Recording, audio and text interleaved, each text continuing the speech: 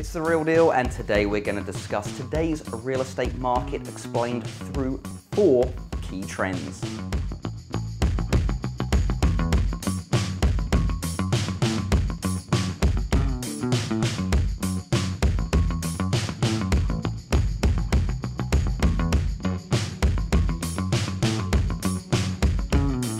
As we move into the second half of the year, one thing is clear, the current real estate market is one for the record books. The exact mix of conditions we have today creates opportunities for both buyers and sellers. Here's a look at the four key components that are shaping this unprecedented market. A shortage of homes for sale.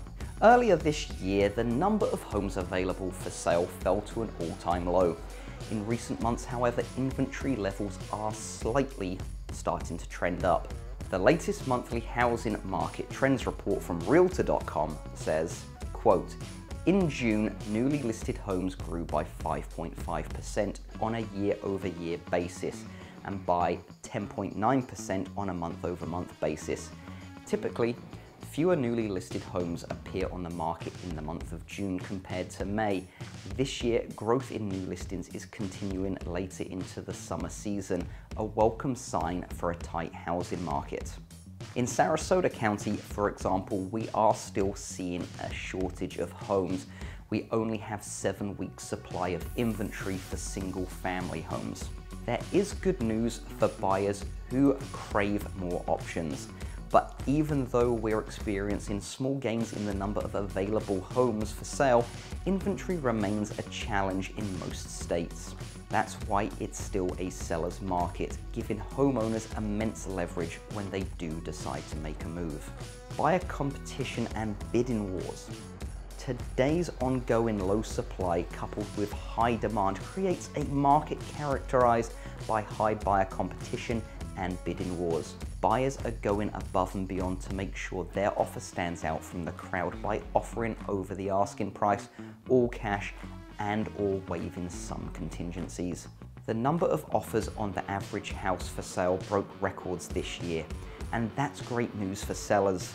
The latest confidence index from the National Association of Realtors says the average home for sale receives five offers. For buyers, the best way to put a competing offer together is by working with your local real estate professional. That agent can act as your trusted advisor on what terms are best for you and what's the most appealing to the seller. Home appreciation. The competition among buyers is driving prices up over the past year, we've seen home price appreciation rise across the country. According to the most recent home price index from CoreLogic, national home prices increased 15.4% year over year in May. Quote, the May 2021 HPI gain was up from the May 2020 gain of 4.2% and the highest year over year gain since November 2005. Low mortgage rates and low for sale inventory drove the increase of home prices.